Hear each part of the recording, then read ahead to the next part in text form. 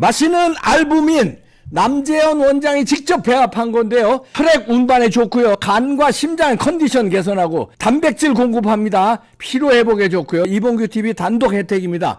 2 플러스 1 한정 특가인데요. 하루 한 병이면 충분합니다. 알부민 좋은 거 아시죠? 애국 기업이에요. 또 남재현 화이팅. 네, 윤석열 대통령이 대통령실로 한동훈 대표를 불러서 어저께 이제 면담을 했다는 거 아닙니까? 어, 식사는 안 하고 한 1시간 반 동안 대화를 나눴다고 합니다. 11시부터 12시 반까지 예, 나눴다고 하는데 정진석 비서실장이 배석했다고 하고요. 그래서 핵심적인 얘기는 이제 조선일보에서도 뭐 제목을 썼지만 넓게 포용해 자기 사람 만들라. 이런 얘기를 한동훈에게 했고 한동훈은 걱정 대통령님 걱정 없게 해낼 것이다 이렇게 얘기했다고 합니다. 정치는 결국 자기 사람을 만드는 것이 중요하다 이런 조언을 했고요. 이 사람 저 사람 폭넓게 포용해 한 대표 사람으로 만든 것이 중요하다. 아, 뻔한 얘기 같으면서도 안고가 있는 얘기입니다.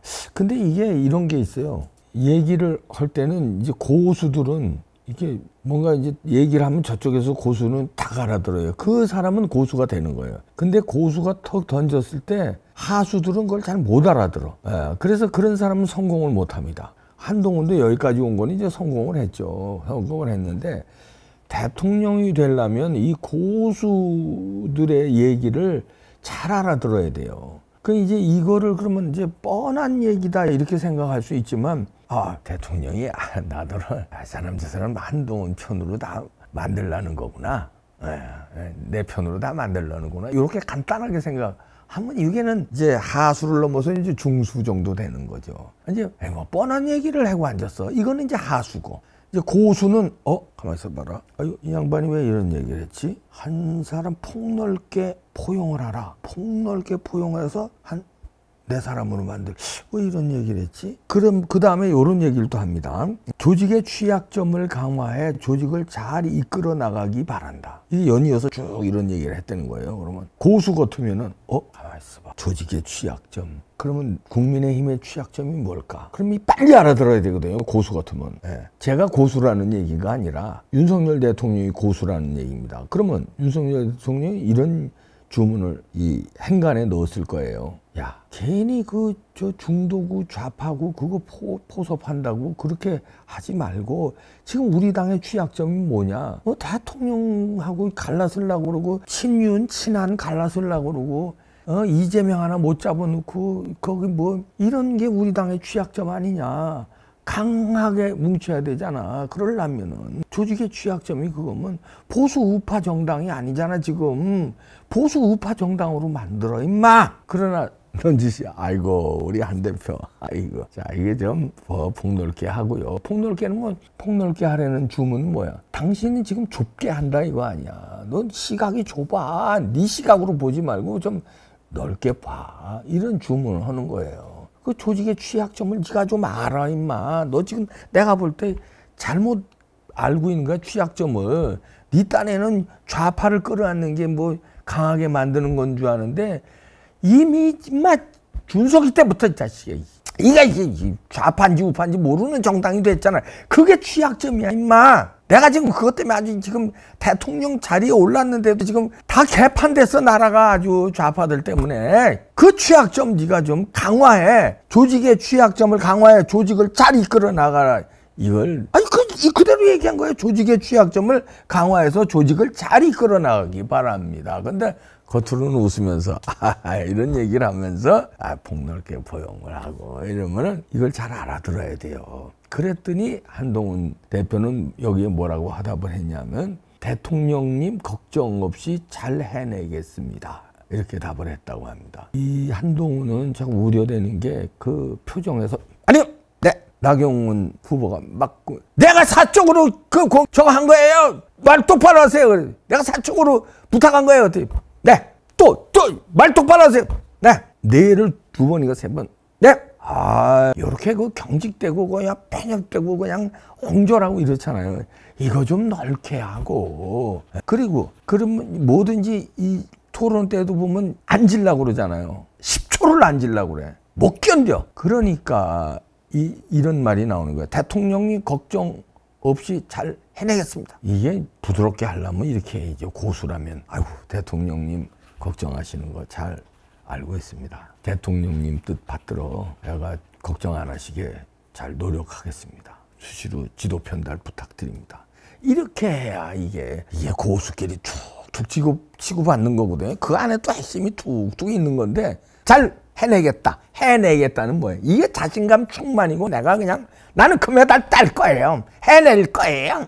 이거거든요. 뭘 해내겠다고 그래. 직전 선거에서 대패했는데 부정선거로 대패했는데 부정선거 붙자도 못 꺼내면서 뭘 해내 해내기는 잘 해내겠다. 이렇게 얘기하면 안 되지. 잘 하도록 노력하겠습니다. 이렇게 얘기해야지. 잘 하겠습니다. 그러든지. 잘 해내겠다 뭐야. 해내겠다. 아주 강력한 그 뭐야. 아주 그 내가 잘 해내겠낸다 이거 아니에요. 걱정하지 말아라. 해내겠다. 한국말 아시죠? 이런 표현이 얼떨결에 나오는 거예요. 왜냐? 이 안에 머리와 가슴, 몸, 온몸통 안에 그냥 나는 그냥 지구는 못 사는 성격이고 나는 내가 제일 똑똑하고 나를 시비 거는 놈은 대통령이고 나발이고 그래서 내가 당신한테도 내가 맞짱 뜬고 그런 거야. 이게 아주 배 있어요. 그러니까 걱정 없이 잘 해내겠습니다. 해내겠습니다. 해내겠습니다. 이랬잖아요. 하겠습니다도 아니고 해내겠습니다. 두고 보라 이런 얘기인데. 그러니까 또 윤석열 대통령이 아이고 당직 개편 이런 얘기도 나오니까 아 이건 당 대표가 알아서 하시, 하세요. 그러니까 이제 이, 이런 얘기가 나오는 거예요. 당대표 알아서 하세요. 뭐.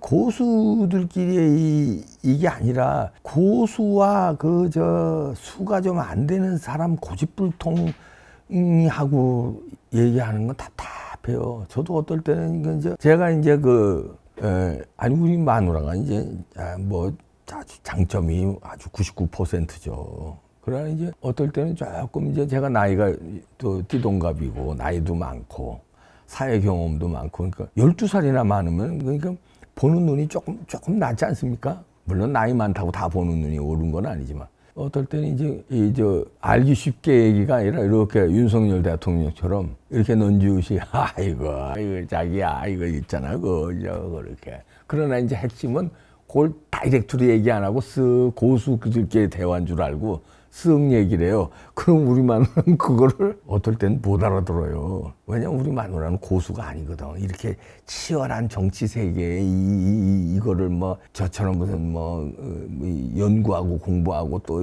방송하면서 이, 이 런 경험이 축적된 사람이 아니잖아요. 그냥 순수한 사람 아니야. 해맑은 사람. 그러니까 이 고수가 쓱 얘기하면 못 알아들어.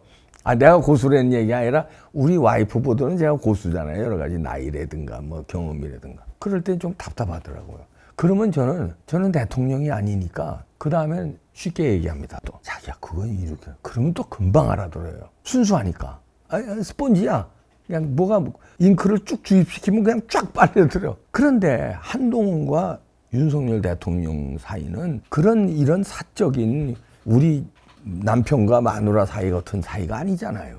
엄청나게 중요한 대통령 자리와 엄청나게 그 다음 중요한 집권 여당의 당대표인데 파열음이 지, 지금까지 났잖아. 그래서 만난 거야. 그럼 고수들끼리 초, 초단파적으로 주파수가 오가야 돼요. 해내, 해내겠답니다. 이러고 있으니, 아이고. 그러니까 윤석열 대통령도 답답하셨을 거예요. 그럼 이제 부, 부부지간 같으면 아, 너 못 알아듣은 것 같은데. 야 동훈아 그게 아니라 내 얘기는 막야 이게 우파 정당이니까. 우, 지금 좌파들 이가 봐봐. 저 이재명 저런 흉악한 놈들하고 하려니까 너 이, 이렇게 좌파들 가, 데려다 놓고 같이 이렇게 헷갈리면 너 큰일 나. 아, 나 탄핵당하는 건 물론이고 너도 대통령 못 돼 임마. 아, 너 정신 차려야 돼. 이제 당 조직 개편할 때 너 좌파고 근처도 못, 못 오게 임마. 큰일 난다 너. 이렇게 이제 쉽게 얘기할 텐데 그런 자리가 아니잖아요. 그러면 또 난리가 날 거 아니야 또. 그래서 넌지옷이 고수로 쭉 초음파를 날리면 초음파로 받아들여야지. 잘 해내겠습니다. 안경을 이러지 않았나 몰라 또. 아이, 그러면 되겠습니까? 하여튼 그러면서 이 고수인 윤석열 대통령이 좀 답답했을 것이다 이렇게 보여지는데 그러면서도 그저 우리 한 대표 이러면서 우리 한 대표 이러면서 어, 친근감을 하면서 잘 저렇게 했다고 그럽니다. 아이, 통이 윤석열 대통령이 어, 한동훈보다는 확실히 큰 것 같아요. 이런 거에서 보고.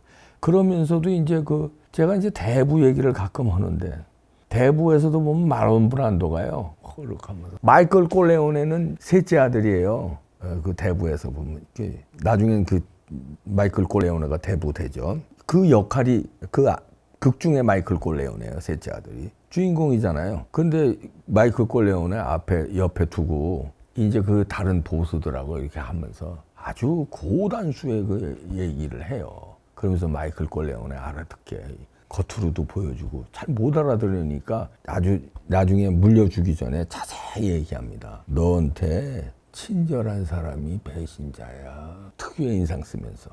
근데 마이클 꼴레오는 그걸 알아들어요. 그게 하수면 못 알아듣는데 알아듣고서는 그 다음에 마론 브란도가 이제 그 보수잖아요. 보수가 죽고 난 다음에 그 셋째 아들인 마이클 꼴레오네가 그 아버지 친구인 자기한테 친하게 하는 사람들을 제거합니다. 왜냐하면 조직을 위해서. 가족, 패밀리를 위해서. 아, 참, 대부 대단한데, 이, 그, 윤석열 대통령은 그 정도 되는 것 같아. 거기서 그러면서 이제 친절하게 하면서, 예? 그, 마이클 콜레오네가 나중에 대부가 된 다음에요. 친절하게 하면서 숙청들을 다 하는데 조직을 탁 개편을 해요. 근데 지금 윤석열 대통령이 한동훈 장관, 한동훈 전 어, 당대표 만나서, 하, 이러면서 쓰너시 알아듣게 하면서 바로 오늘 나온 속보들 보셨죠? 어저께 한동훈 만났어요. 그리고 아 이렇게 아, 우리 아 우리 대표 우리 한동훈 대표 이러면서 오늘은 김문수 노동부 장관 김문수가 어떤 사람이에요? 자 이제는 뭐, 이제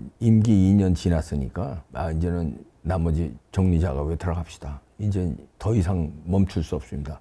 김문수가 어떤 사람이에요? 아, 이제 뭐, 저, 민노총이고 뭐, 이제 다 때려 잡읍시다. 이제 이진숙 협조해서 그 민노총과 아새끼들 때문에 저 언론 노조 이것들 다 그냥 그 민노총 산하에서 아주 복잡한 모양인데 경사위 위원장이었거든요. 그런데 아주 실무를 담당하는 노동부 장관에 그냥 꽂았어요. 경 경사위라는 게 이제 노동부의 외곽 조직으로 이제 그런 거 연구하고 또 두루두루 이렇게 협력하고 이런 위원장을 맡았어요.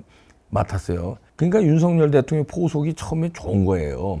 그렇게 했고 그다음에 나경원 어, 의원한테는 뭘 맡겼어요? 저출산 대책위원장을 맡기고 기후대사까지 같이 했잖아요. 그게 큰 거 두 개였다고 그게 나라의 명운을 건 거. 근데 나경원 대표는 못 알아듣고 당 대표로 나간다고 그러니까 거기서 이제 제거시킨 거고 이 김문수 위원장은 알아들었던 거예요. 그래서 그걸 열심히 했어요. 그래서 잘 하시니까 자 위원장님이 이제 때가 됐습니다. 장관으로 가셔서 실무로다가 그냥 노동계를 그냥 개혁해 주세요. 싹. 개혁이라는 게 뭐야? 착살 내달라는 거 아니야? 민노총이고 뭐고. 지금 과방위도 민노총 산하의 언론 노조 때문에 지금 난리잖아요. 자, 그리고 이진숙 방통위원장 바로 오늘 임명했어요. 임명하니까 이진숙 그 위원장은 보통 이런 거 임명을 제가 어저께 방송 보신 분들 알지만 속 속전속결 아, 시간차 공격에 들어갈 것 같다. 시간차 공격하라 이런 논평을 했는데 뭐제 방송을 들어서 그랬다고 보다도 그걸 제 간파를 했거든요. 그럴 뿐이다고. 근데 이분이 다 에, 보통 임명장을 받으면 어딜 가냐면 역대 다 그랬어요. 예, 현충원 갑니다.